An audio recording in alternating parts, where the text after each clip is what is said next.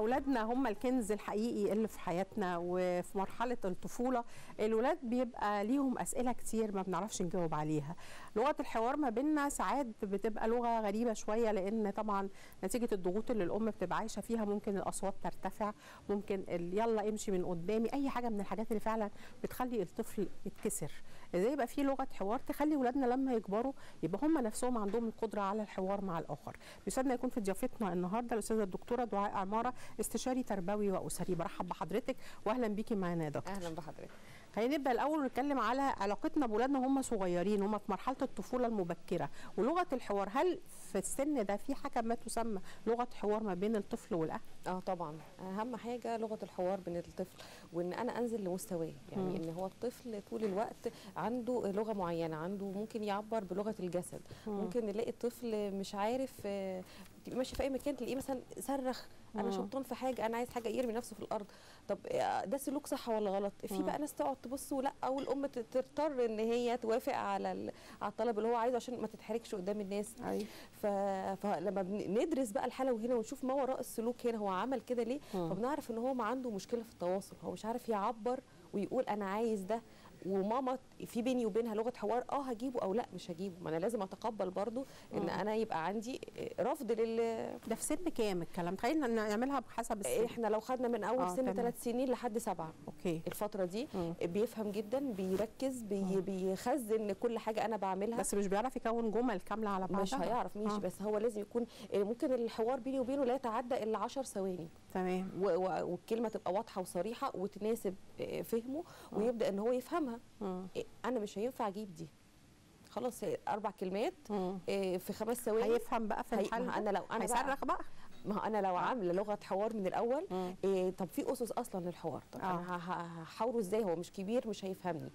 إيه لازم إن أنا مستوى نظري يبقى في مستوى نظر ما بقاش أنا عالية عليه وهو تحت وأنا بعمل له كده وأوعى لأ ومش هجيب. آه. دي, دي هي هيوصل له إن هو تهديد. هيوصل له خوف مش هيوصل له مشاعر أمان ابدا. فأنا لازم أنزل لمستوى الطفل يبقى في تواصل بصري بيني وبينه في نفس مستوى العين. مم. صوتي لازم آخد بالي من نبرة صوتي وأنا بكلمه أنا مش قلت لك مش هجيب. آه. لأ إحنا النهارده اتفقنا وإحنا خارجين إن إحنا النهارده خارجين مثلا نعمل كذا مش هنشتري لعبة. مم. فيبدأ إن هو مرة في مرة يعرف إن في لغة حوار.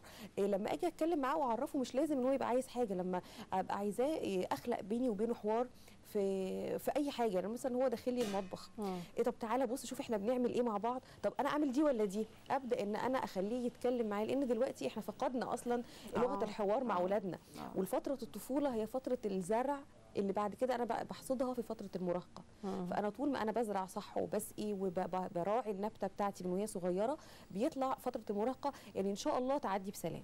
طب خلينا نقول بقى الأسس اللي هنبني عليها. حضرتك قلتي في في الطلبات بيبقى نظرة العين أو في الكلام بيبقى نظرة العين. آه. طيب إيه إيه تاني ممكن يتعمل؟ زي ما قلنا الصوت آه. نبرة الصوت. آه. إيه ال- المداومة إن أنا أصلا يبقى في بيني وبينه لغة حوار مش عشان خاطر في مشكلة النهارده مم. إحنا هنقعد ونتكلم مع بعض. مم. لا لازم يبقى في مثلا family meeting إن يوم الجمعة مثلا إن هنقعد كلنا مع بعض ونتكلم. إيه ولو مثلا الطفل ده عنده مشكلة فأنا باخده على جنب ويبقى في لغة حوار بيني وبينه لوحدنا يبقى في وفي السن ده الطفل هيستوعب هيستوعب؟ ما إحنا هنتكلم زي ما قلنا الأسس إن هي آه. خمس ثواني 10 ثواني آه. كلمات بسيطة وسهلة تقدر توصل له. إيه بيبقى في حب إيه أنا ممكن لو عايزة أوصل له أوصل له مشاعر يبقى في لغة تلامس في ال... أمسك إيده. وأنت خايف ليه زعلان ليه أبدأ إن أنا أوصل له مشاعري طيب بتختلف الشخصيات من شخصية لتانيه يعني في طفل زنان وده اللي بيوصل الأم إن هي تصرخ في الآخر. يعني هتعمل اللي حضرتك بتقولي عليه ويفضل يزن يزن عشان ياخد الحاجة اللي هو عايزها ولو ما خدهاش بتبقى كارثة في البيت. الطفل ده التعامل معاه يكون إزاي؟ الطفل الزنان. إيه أنا يعني دايما ببحث ما وراء السلوك هو مم. بيزن ليه؟ علشان أنا وهو بيكلمني أنا بس في الموبايل وبلعب وهو ماما ماما ماما وأنا مش معبراه أصلا. آه. فهو هيضطر إن هو يزن وهو يزود. إنما أنا لو في ثانية مم. سبت التليفون ونعم عايز إيه؟ كذا. لا مش هينفع مم. عشان كذا. ويلا إيه لازم أشتت انتباهه بقى عن المثير. هو دلوقتي مم. مثار مثلا بلعبة. فأنا أشتت انتباهه بحاجة تانية. مم. يلا اعمل كذا يلا اغسل إيدك دايما أش... أودي انتباهه للحاجات الإيجابية للسلوك الإيجابي يعني مثلا آه. لو عندي طفل إيه، طول الوقت زنان أنا ما أقعدش بقى مع حضرتك أقول أصل هو زنان مم. أقعد مع جدته قدامه أصل هو طول أصل مش هيسكت عشان هو زنان فأنا دايما أنا كده ب focus على الإيه مم. على السلوك السلبي لا أنا أنا وهو بيحط ده في دماغ جدا الفترة صح؟ دي اسمها آه. آه. مرحلة sponge هو آه. آه. طول الوقت بيمتص آه، كل حاجة إحنا بنعملها مم.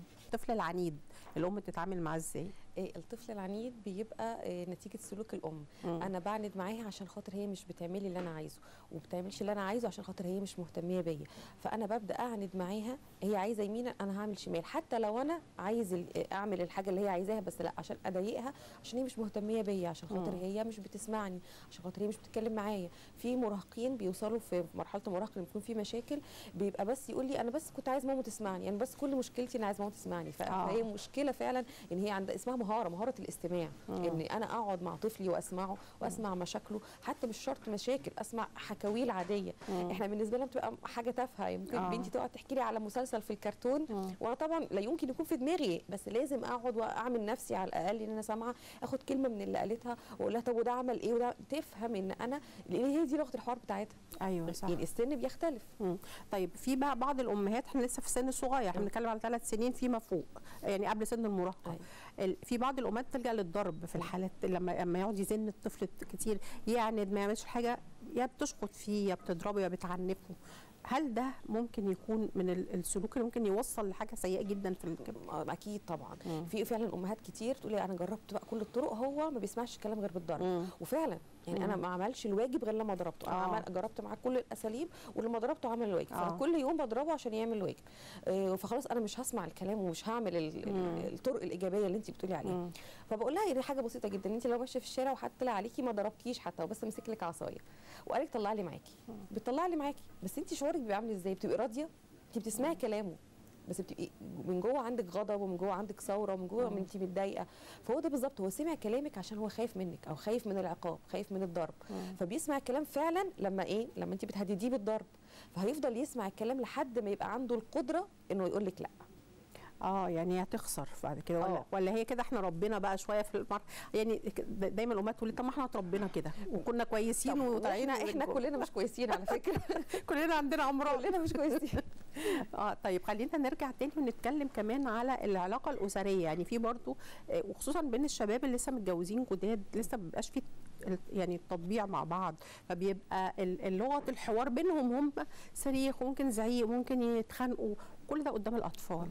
ما هو أنا الطفل زي ما قلنا هو في مرحلة ال- الإسفنجة السبونج اللي بيمتص فيها كل حاجة. فأنا شايف ال- ال- النموذج الأبوي بتاعي بابا وماما بيتكلموا إزاي فأنا هعمل زيهم. أنا آه. مش هبقى عارف ده صح ولا غلط. أنا بقلد كان في تجارب اتعملت آه، على اطفال ادوهم لعب بابت صغيرة وسابوهم في في أوضة وصوروهم. فلقوا إن ال- الكلام اللي بي الطفل بيقوله كلام كبير جدا. مم. كلام كبير. أنت وحش أنت بتسمعش الكلام أنت سيء أنت أنت. فلما اتكلموا مع الأمهات ومع الآباء لقوا إن هو ده دي لغة الحوار اللي موجودة. هو مم. شرب منك اتعلم منك فبقى دي لغة الحوار. هيتكلمها مع مين؟ مع أي كائن أصغر منه مع لعبته. مع أخوه الصغير. لو راح المدرسة مع كائن أضعف منه طفل أضعف منه. فهيبدأ يفرغ كل اللي هو بيتعمل فيه خارجيا. هيفضل كل ده يمتص ويكبر يكبر لحد ما يوصل بقى لمرحلة المراهقة. بعد مرحلة المراهقة يبقى شاب يبقى زوج يعمل مم. نفس الموضوع. فإحنا هنفضل يعني هنفضل في تبقى دايره الدايرة بتلف دايرة بتلف آه. وما بنحلش ده معناه إن في قاموس لفظي لازم يبقى عند الأب والأم هو المفروض هم يلتزموا بيه طبعاً. هي مفاتيح للولاد طبعاً. طب ده كده عايزين الأب والأم يتربوا من أول وجديد إيه بصي يعني هو الأب والأم لازم عشان خاطر هم خلاص اتجوزوا آه. والجواز ده يعني هو بيبقى آخرهم إن هو إيه فرح وانبسطت آه. واتصورت وخلاص لا لازم تبقي عارفة من الأول إن أنت يعني اتحملتي مسؤولية. يعني مسؤولية الجواز غير مسؤولية إن أنا أخلف لو مش قد مسؤولية الخلفة دلوقتي مش قادرة تتعلمي ده دلوقتي يبقى مم. ممكن نأجل شوية لحد ما تبقي فعلا مؤهلة. عارفة إن أنا ممكن أولويتي دلوقتي للشغل مش لابني. يعني أنا. ليه طفل يقعد في الحضانة من 7 الصبح ل 7 بالليل؟ آه. وتيجي تقولي لسه ما فيش لغة حوار بين انت بتشوفيه إمتى أصلا عشان يبقى في. بينكم لغة حوار؟ لأ في أولوية. لأ يعني لو هنا أنا بفضل إن انت تكسبي ابنك وتخسري الشغل. مم. لا اقعدي مع في ابنك فترة. المرحلة ال- الأولانية دي آه. مهم جدا آه خلفوا ويقول لك لا يلا بقى نروح آه. نودي حضانة. آه نجيب ناني نودي عند الجدة مم. طبعا لما نودي عند الجده أو الجد بيدلعوا آه فبيبوظوا اللي أنا عملته فلا أنا لازم يبقى ليا. إيه، سيطرتي على ابني وليك حدودك اللي إيه اللي بتتحرك فيها في في في الحوار طيب ال ال الولاد بقى كبروا شوية وبدأوا يعرفوا يتكلموا وبدأوا يعرفوا يسألوا وفي أسئلة كتيرة ساعات بتبقى الأم والأب مش عارفين يردوا عليها في أسئلة خاصة مثلا زي دي حاجات دينية مثلا الجنة فين وال... أيوة. وربنا وربنا فين, فين. والحاجات دي وفي حاجات بتبقى حاجات محرجة ممكن يبقى ال... ال... الأب والأم ما يقدروش يتكلموا فيها ب... يتكسفوا يتكلموا فيها مع أولادهم أيوة. الصغيرين هي بتبقى محرجة بالنسبة لنا إحنا آه. إنما بالنسبة له هو بيسأل عشان يبقى عايز يعرف معرفة آه بيسأل بهدف المعرفة فأنا أي سؤال الطفل يسأله سواء محرج سواء آه، ما ينفعش إن أنا أقول له ده حرام. ما تسألش ربنا فين آه ما تسألش لا عيب ما تسألش كده أيوة. ما ينفعش إن أنا أكبته ابدا لأن هو هيدور آه وهيجيب المعلومة سواء بقى مغلوطة أو صح من حتة مم. فأنا لازم إن أنا أجاوبه على حسب المرحلة السنية اللي هو فيها إيه لو أنا اتكسفت أجاوبه ممكن أقول طب تعالى كده نعمل سيرش وندور على حاجة على مم. على الموبايل نعرف مم. إجابة السؤال ده اصل أنا ما أعرفش ولو مش. عارفة الإجابة تقول مش عارفة أقول مش عارفة وتعالى ندور مع بعض تعالى ندور في. كتاب أطلع آه. الإجابة العلمية من كتاب هيبقى أحسن كده آه. طبعا طيب الوقت للأسف انتهى كان لسه. في أسئلة كتير عايزين نسألها إن شاء الله نتقابل مرة الله. بإذن الله وربنا يهدي ولادنا كلهم. بشكرك جدا دكتورة نورتينا